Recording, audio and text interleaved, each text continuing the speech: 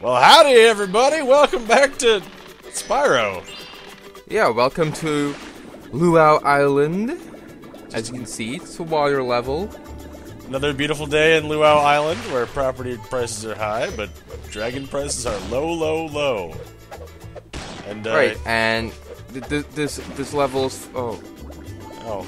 um, it's a water level as I said, so you can swim everywhere as it should be.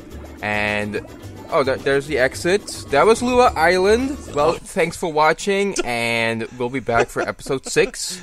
delightful. Always a pleasure, Jeff. Always a pleasure. You know, like I like this level uh, kind of a bit better than last level. It's You like a know, more haiku. condensed. Yeah. Yeah, yeah. Very All right. concise. All right, good night. Till next time.